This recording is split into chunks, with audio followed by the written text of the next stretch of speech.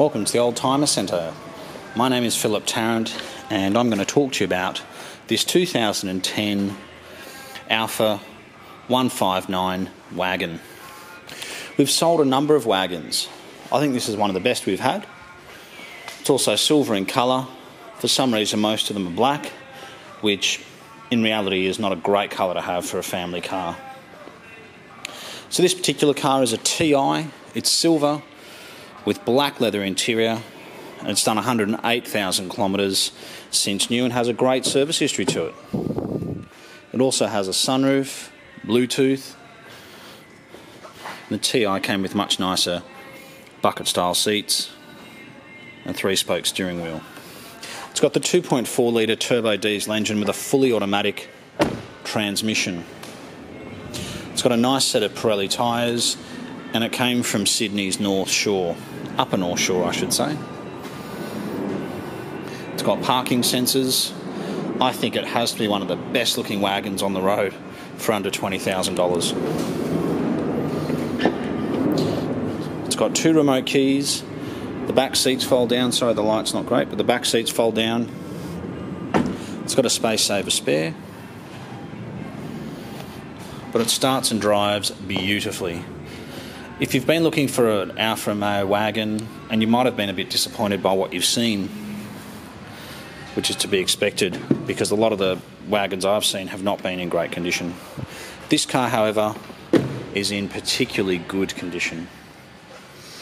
So someone's really looked after it, they've serviced it properly, they've put a nice set of Pirelli tyres on it. It's got two keys, that hasn't been lost. And I literally I couldn't think of a better car, family car for under twenty thousand dollars. It's reliable, economical, safe. And they just look brilliant in silver. Obviously red is a nice colour as well. Especially on an Alfa. But the utility of folding rear seats, the economy of diesel. It's got a great service history. I just can't stop looking at it. It looks fantastic. And it's under $20,000 for a 2010. Now, I challenge you to find a European car, wagon, from 2010 diesel for under $20,000. I'm going to exclude Volkswagen and Skoda out of that because when I talk about European cars, I'm talking about BMW, Mercedes, Audi,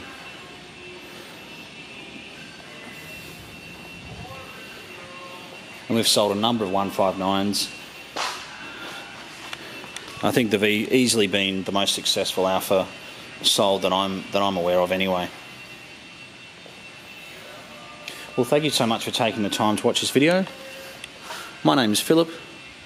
We are the Oldtimer Centre. We're located just Sydney minute, uh, 20 minutes from Sydney Airport. If you have any further questions, please give us a call. 02 9569 double nine double nine.